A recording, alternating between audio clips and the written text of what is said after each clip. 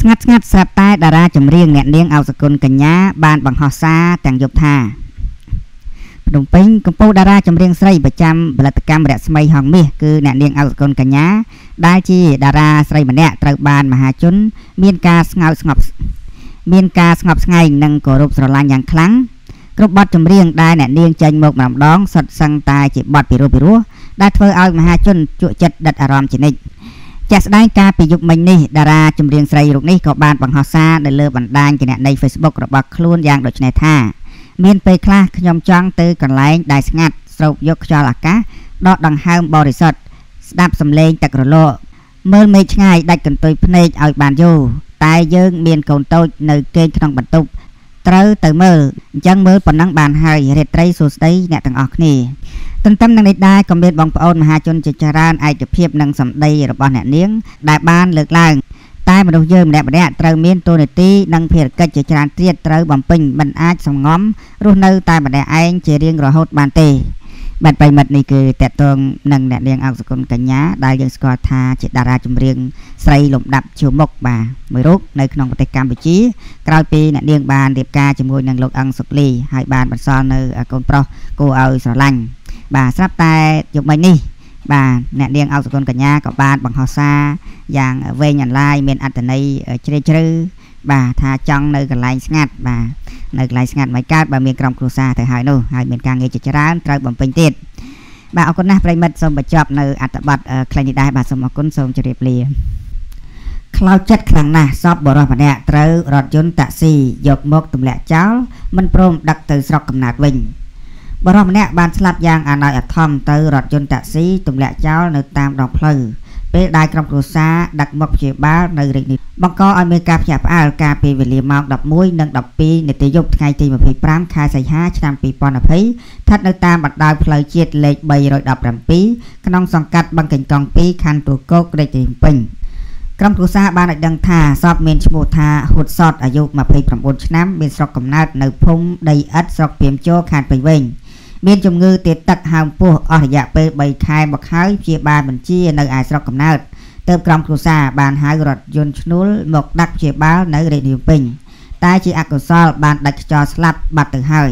ធ្វើឲ្យក្រុមគ្រួសារបានសុំម្ចាស់រថយន្តដឹកសពទៅឯស្រុកកំណើតវិញប៉ុន្តែគេមិនព្រមដឹកទើបទម្លាក់សពចោលនៅតាមដងផ្លូវទើបបង្កឲ្យមានការភ្ញាក់ផ្អើលដល់បងប្អូនប្រជាពលរដ្ឋនិងសមត្ថកិច្ចមូលដ្ឋានចោះមកដល់កន្លែងកើតហេតុភ្លាមៗ មានក្រុមសារព័ត៌មានជាច្រើនស្ថាប័នបានចំណាយថវិកាផ្ទាល់ខ្លួនសម្រាប់ឲ្យគាត់ហៅរថយន្តសាមួយដឹកសាកសពកូនរបស់គាត់យកទៅធ្វើបន់នៅឯស្រុកកំណើតវិញបាទប្រិមត្តនេះគឺតកតងនឹងអ្នកមីងហើយនឹងប្អូនស្រីម្នាក់បាទបានយកកូនរបស់គាត់បាទមានអាយុ29ឆ្នាំទៅហើយហើយកើតជំងឺទាកទឹកពោះធំដឹកតាមរថយន្តមកព្យាបាលនៅភ្នំពេញ តែអកុសលបានស្លាប់បាត់បង់ជីវិតបាទដល់ភ្នំពេញហើយក៏រថយន្តដែលដឹកនឹងទម្លាក់សពនឹងចោលតែម្ដងអត់ហ៊ានដាក់នោះទេហើយបង្កឲ្យមានការភ្ញាក់ផ្អើលដល់អ្នកសារព័ត៌មានជាច្រើនអាណិតអាសូរជាខ្លាំងក៏បាននាំគ្នារីអង្គាសលុយម្នាក់10រៀលបាទជូនគាត់ដើម្បីហៅឡានសមុយដឹកយកទៅឯស្រុកកំណើតដើម្បីធ្វើបន់ទៅតាមប្រពៃណីបាទអញ្ចឹងគួរឲ្យអាណិតគាត់ណាស់មិនគួរណារថយន្តឈ្នួលនេះគាត់ធ្វើដាច់បាទធ្វើបែបហ្នឹងនោះទេ គ្នាជប់ទុកហើយអត់ចេះជួយលំបាកបែរជាទម្លាក់សពចោលទៅវិញបាទប្រិមិត្តសូមបញ្ចប់នៅអត្ថបទខ្លីនេះដែរបាទសូមអរគុណសូមជម្រាបលាខ្លោចចិត្តខ្លាំងណាស់សពបរិសម្នាក់ត្រូវរថយន្តតាក់ស៊ីយកមកទម្លាក់ចោលមិនព្រមដឹកទៅស្រុកកំណើតវិញបរិសម្នាក់បានស្លាប់យ៉ាងអណោចអធមទៅរថយន្តតាក់ស៊ីទម្លាក់ចោលនៅតាមចង់ស្រក់ទឹកភ្នែកអន្តិតដេវីតនិងកញ្ញាទេពបព្រឹកបានបង្ហោះសាររំជួលចិត្ត ក្រោយពីឪពុករបស់ខ្លួនបានធ្វើរឿងមួយភ្នំពេញប្រិមិត្តច្បាស់ជាស្គាល់រួចមកហើយតារាចម្រៀងទេពប្រព្រឹត្តនិងតារាចម្រៀងរ៉េបអន្តិតជីដេវីតដែលទៅតែសឹកនោះគឺជាគូស្នេហ៍បុគ្គលដែលស្រឡាញ់គ្នាខ្លាំងបំផុតគូស្នេហ៍មួយគូនេះតែងតែធ្វើឲ្យ fan fan របស់ខ្លួនច្រណែនជាមួយនឹងជីវិតរស់នៅ និងជីវិតស្នេហារបស់គេផងដែរ យ៉ាងណាមិញនេះបើយោងទៅតាមគណនី Facebook របស់កញ្ញាទេពប្រព្រឹត្តនៅមុននេះបន្តិចបានបង្ហោះរូបថតឪពុករបស់ខ្លួននិងថែមទាំងបានភ្ជាប់មកជាមួយនឹងសារយ៉ាងមានអត្ថន័យដូចនេះផងដែរថាអបអរសាទរលោកឪពុកខ្ញុំឃើញចង់ស្រក់ទឹកភ្នែកខ្ញុំរំភើបខ្លាំងណាស់លោកឪពុកមិនដែលនិយាយអ្វីទេមិនដែលចង់បានអ្វីឬក៏សុំអ្វីពីកូនស្រីម្នាក់នេះទេ ដឹងតែព្រឹកឡើងជិះម៉ូតូទៅធ្វើការ ពេលដែលឃើញកូនកូនពិបាកចិត្តពុកតែងតែមានពាក្យមួយម៉ាត់ថាខំធ្វើការកូនការងារណាក៏ពិបាកដែរបើគេចង់ឈ្នះឲ្យគេឈ្នះទៅ កូននឹងជោគជ័យនៅពេលដែលកូនខំប្រឹងតស៊ូការមិនបៀតបៀនអ្នកដទៃគឺនាំឲ្យចិត្តយើងស្ងប់និងជួបតែរឿងល្អៗជាច្រើនបន្ទាប់មកឃើញថាលោកជីដេវីតក៏បានបង្ហោះសារជូនពរឪពុកក្មេកដូចគ្នានិងមានអត្ថន័យយ៉ាងដូចនេះថា សូមអបអរសាទរអនាគតឪពុកក្មេកក្នុងឱកាសព្រះមហាក្សត្រថានន្តរស័ក្តិឧត្តមសេនីយ៍ត្រីតេផនសូមជូនពរលោកឪពុកឲ្យជោគជ័យគ្រប់ភារកិច្ចការងារដោយសេចក្តីមានមោទនភាពដែលកើតឡើងដោយថបានមកដោយថបាទប្រិមត្តនេះគឺតកតងនឹងគូស្នេហ៍លោកជីឌីវិតក៏ដូចជាកញ្ញាទេពបុព្រឹកបានបង្ហោះសារអបអរសាទរដែលឪពុករបស់ទេពបុព្រឹកហ្នឹងត្រូវបានព្រះមហាក្សត្រ តែងតាំងឋាននន្តរស័ក្តិបាទឧត្តមសេនីយ៍បាទអញ្ចឹងសូមចូលរួមអបអរសាទរបាទកញ្ញាទេពព្រឹកនិងលោកជីដេវីតដែលត្រូវជាពុកក្មេងផងដែរបាទប្រិមិត្តសូមបញ្ចប់នៅអត្ថបទ clinic បាទសូមអរគុណសូមជម្រាបលាចង់ស្រក់ទឹកភ្នែកអន្តិតដេវីតនិងកញ្ញាទេពព្រឹកបានបង្ហោះសាររំជួលចិត្តក្រោយពីឪពុករបស់ខ្លួនបានធ្វើរឿងមួយភ្នំពេញប្រិមិត្តច្បាស់ជាស្គាល់រួចមកហើយតារា ឪពុករៀបរាប់ទាំងទឹកភ្នែកពីដំណើររឿងកូនរបស់គាត់មិនដែលឈឺអ្វីសោះស្រាប់តែក្រោកពីគេងពេលព្រឹកងូតទឹករួចហើយគាត់ក៏ប្រាប់ថាកូនឈឺក្បាលវិលមុខចង់ក្អួតរួចក៏បែបនេះតែម្ដងកាលពីពេលថ្មីថ្មីនេះក្រុមគ្រួសារមួយបានបង្ហាញអារម្មណ៍សោកស្ដាយនិងរន្ធត់ជាខ្លាំងបន្ទាប់ពីកូនប្រុសវ័យជំទង់ក្នុងក្រុមគ្រួសារបានទទួលមរណភាពដោយសារតែជំងឺដាច់សរសៃឈាមក្នុងខួរក្បាលនេះបើតាមគណនី Facebook របស់ឪពុក របស់ក្មេងប្រុសរងគ្រោះខាងលើ បានបង្ហោះសារទាំងទឹកភ្នែកឲ្យដឹងថាកូនប្រុសមាសឪពុកដែលជាទីស្រឡាញ់របស់ម្ដាយកូនលាទៅអស់3ថ្ងៃហើយតើកូនទៅដល់ទីណាម្ដាយនឹកឪពុកស្ដាយគឺស្ដាយនៅអំពើល្អដែលកូនមានបានអង្រួនបេះដូងបង្កើតជាអារម្មណ៍ឲ្យស្រក់ទឹកភ្នែកមកហូរនឹករកកូនប្រុសចំពោះសេចក្តីល្អរបស់កូនដែលបានបន្សល់ទុកឲ្យឪពុកម្ដាយជីដូនអ៊ំពូមីងនិងបងប្អូន គឺបានល្អគ្រប់គ្រាន់ជាពិសេស លោកឪពុកនិងអ្នកម្ដាយហើយក៏ក្នុងឱកាសនេះដែរឪពុកក៏ចង់បង្ហាញនៅសេចក្តីល្អពិតពិតដែលមានត្រង់ពេលនេះតែម្ដង កូនខ្ញុំមានឈ្មោះថាកោសលបុតកើតនៅថ្ងៃទី29ខែតុលាឆ្នាំ2020គឺជាក្មេងប្រុសម្នាក់ដែលរស់រេរាក់ទាក់និងស្លូតបូតគួរឲ្យស្រឡាញ់ជាមនុស្សល្អចូលចិត្តរៀនសូត្រហើយថែមទាំងរៀនពូកែទៀតផង ហើយតែងតែមានសេចក្តីស្រឡាញ់ចំពោះបងប្អូនបងប្អូននិងមិត្តភ័ក្តិលោកបានបន្តទៀតថាហើយពេលនេះដែរខ្ញុំក៏បានបង្ហាញប្រាប់ពីមូលហេតុនៃការដែលបានបាត់បង់អាយុជីវិតកូនប្រុសរបស់ខ្ញុំទៅចោះហេតុដំបូងគឺគាត់ក្រោកពីគេងពេលព្រឹកបានងូតទឹករួចហើយគាត់បានមកប្រាប់ខ្ញុំថាប៉ាកូនវិលមកចង់ក្អួត ហើយខ្ញុំក៏យកធុងសម្រាមមកដាក់ឲ្យគាត់ហើយគាត់ក៏ក្អួតមកមានតែទឹកបន្តិចបន្តួចហើយគាត់ថាប៉ាកូនឈឺក្បាលហើយ ខ្ញុំថាកូនឯងកើតខ្យល់ហើយ មើលទៅ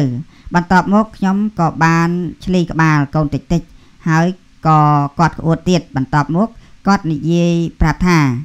ប៉ាមិត្តភ័ក្ដិខ្ញុំឈ្មោះវត្តឧស្សាហ៍ខ្យល់មិនដឹងថាវាលំបាកមិនទេចុះប៉ាឯងធ្លាប់ខ្យល់អត់ខ្ញុំបានប្រាប់កូនវិញដែរថា ធ្លាប់គឺពេលដែលប៉ាស្រវឹងតើដឹងថាគាត់និយាយថាម៉េចទេប៉ាកុំញ៉ាំវាទៀត ទឹកភ្នែកខ្ញុំក៏ហូរគឺហូរដោយសារតែសំឡេងកូនប្រុសមួយសន្ទុះក្រោយមកជីដោតគាត់ក៏បានចូលមកឃើញហើយកូនខ្ញុំក៏បានលើកដៃសំពះគាត់ហើយគាត់ក៏និយាយទៀតថាប៉ាខ្ញុំឈឺក្បាលខ្លាំងណាស់ហើយគាត់និយាយម្ដងទៀតប៉ាអោបខ្ញុំមក ហើយខ្ញុំគេងអោបកូនទាំងទឹកភ្នែកជីដូនគាត់ក៏បានយកទឹក ខ្មុំឲ្យគាត់ញ៉ាំទៅ តែមិនដឹងថាជាយ៉ាងម៉េចទេគាត់ចេះតែទុនទៅទុនទៅហើយក៏សម្រេចចិត្តបញ្ជូនគាត់ទៅមន្ទីរពេទ្យការលិម៉ែតតែម្ដងបន្ទាប់មកចៃដនអីពេទ្យពពេញទៅដោយសុទ្ធតែអ្នកជំងឺក្រោយមកបានយកគាត់ទៅស្កេនក្បាលហើយក៏ចេញមកលទ្ធផល គឺមានឈាមពេញក្បាក់ខួរក្បាលធ្វើឲ្យម្ដាយរបស់គាត់និងរូបខ្ញុំតក់ស្លុតជាខ្លាំងហើយក៏យកគាត់ ទៅស្កេនជាលើកទី2រីឯលទ្ធផលគឺដាច់សរសៃឈាមក្នុងខួរចំកន្លែងសំខាន់នៃសរសៃឈាមខួរក្បាលហើយក្រោយមកក៏បញ្ជូនគាត់ចូលទៅផ្នែកសង្គ្រោះបន្ទាន់ផ្នែកសរសៃប្រសាទតែអនិច្ចាសភាពជំងឺគាត់មានភាពមិនល្អក៏លោកគ្រូពេទ្យសូមធ្វើការពិភាក្សាជាមួយនឹងជាមួយខ្ញុំនិងម្ដាយរបស់គាត់ លោកបានបន្ថែមទៀតថាដោយសម្រេចចិត្តជាស់បង្ហូរឈាមដែលកកនោះចេញដោយដឹងថាមានតែក្តីសង្ឃឹម25%ក៏ដោយគឺនៅពេលនោះដូចជាមានអារម្មណ៍បាត់អីម្យ៉ាងសេចក្តីទុកសោកបានកើតឡើងពេញខ្លួនប្រាណដោយមិនដឹងធ្វើម៉េចទេ ហើយត្រូវលុះដល់ពេលធ្វើការវះកាត់ហើយបានរយៈពេលតែ8ម៉ោងក្រោយសភាពរបស់គាត់ចេះតែខ្សោយទៅខ្សោយទៅធ្វើឲ្យគាត់មិនដឹងខ្លួនតតែសោះ លោកគ្រូពេទ្យហៅទៅជួបម្ដងទៀតក៏បាននិយាយរៀបរាប់ថាគាត់ព្យាយាមជួយអស់ពីសមត្ថភាពហើយគឺបានត្រឹមតែប៉ុណ្ណឹងគឺគឺដង្ហើមរបស់គាត់ដកបានដោយប្រើម៉ាស៊ីនតែប៉ុណ្ណោះហើយក៏មិនល្អខ្ញុំគាត់បានខ្នះខ្នែងរកពេទ្យល្អល្អក៏គេ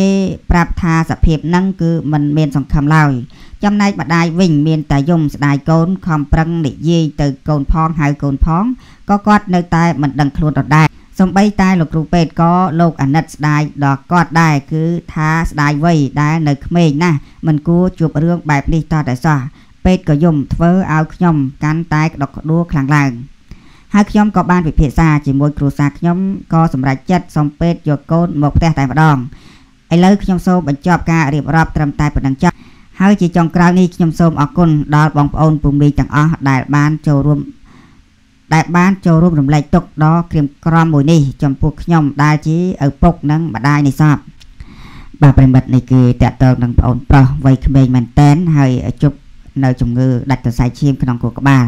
ចាំបានថាយើងមើលមិនឃើញមែនជីវិតយើងធ្លាប់រស់នៅអសុកសុកបាទបែរជាកើតបញ្ហាមួយរំពេចបាទពិតជាសោកស្ដាយដល់បងប្រុស